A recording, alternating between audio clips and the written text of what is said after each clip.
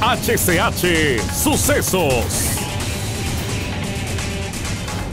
Las primeras muertes violentas ocurridas en el departamento del Paraíso se registraron a las 12 con minutos de la madrugada de este primero de enero del año 2020. Esto sucedió en la comunidad de Rancho Obispo, jurisdicción del municipio de Yuscarán. Las dos víctimas fueron identificadas por sus familiares como Fabio Gerardo Suazo Mejía, de 22 años, y Santo José García, de 23. No, él estaba aquí en la casa y de ahí me dice, eh, madre me dice, yo voy a ir para, yo voy a ir allá al otro lado. Entonces él se fue, pero solo tenía media hora de haberse ido. Cuando rapidito me vinieron a avisar que lo habían golpeado.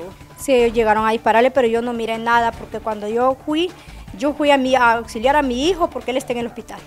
Y ya ellos dijeron que estaban, eh, que habían dos muertos arriba y solo oí Josi, Josi. Y era mi sobrino, no, no sabía del otro sobrino. Ya había quedado muerto. Ya, dos sobrinos. No había reacción. no, no, yo no los miré a ellos cuando ya los trajeron a los dos tendidos para acá en el barrio La Cruz, sector 2 del municipio de Guinope, El Paraíso. Otra muerte violenta se registró. La víctima se trata de Edwin Antonio Aguilar Rendón, de 33 años.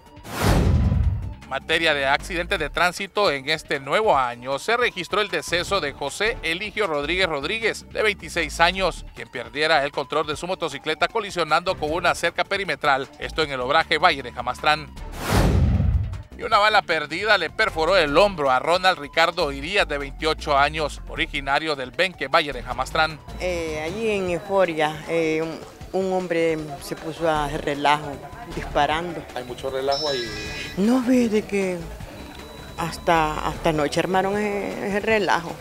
Ya inmediatamente lo trajimos joven de nombre Luis Enrique Rodríguez Trejo fue atropellado por el conductor de una motocicleta quien andaba frente al volante, según bajo la ingesta de bebidas alcohólicas. Esto se registró en la colonia Nueva Esperanza. El peatón sufrió una fractura en su pierna derecha que hoy es remitido hasta el hospital escuela que reciba una atención especializada. Sí, mire, yo no estaba, ¿verdad? Estaba en la reforma cuando mi hija me llamó y me dice, mami, me dice, Luis tuvo un accidente. Me dice, ¿Lo atropellaron? Sí, lo atropellaron.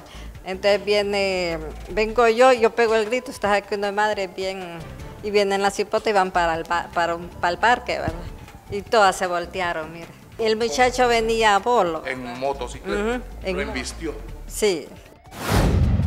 En la comunidad del pescadero, jóvenes a bordo de un turismo se salvan de milagro. Esto al provocar un accidente tipo colisión. La unidad en que viajaban estos jóvenes cayó debajo de un puente empleado de la empresa de transporte interurbano Vanegas, conocido como Lester, se accidenta en una de las unidades, quedando volcada en la carretera que de Dalí conduce al municipio de San Matías. Según socios de esta empresa, irresponsablemente el trabajador sustrajo el vehículo sin el consentimiento o autorización de la administración. El joven presentó varias heridas y quien fue trasladado hasta la sala de emergencia del hospital Gabriel Alvarado. Bueno, de hecho los buses cuando llegan a las terminales pues ya no tienen ningún recorrido que hacer pero los conductores a veces se toman sus atribuciones y mire lo que hacen. En realidad que es lamentable porque es una unidad cara y a veces los conductores no tienen conciencia de lo que andan en sus manos. Desde la zona oriental del país, Departamento del Paraíso, este es un informe de Ricardo Salcedo, Julio Ruiz para Hable como a la Televisión Digital.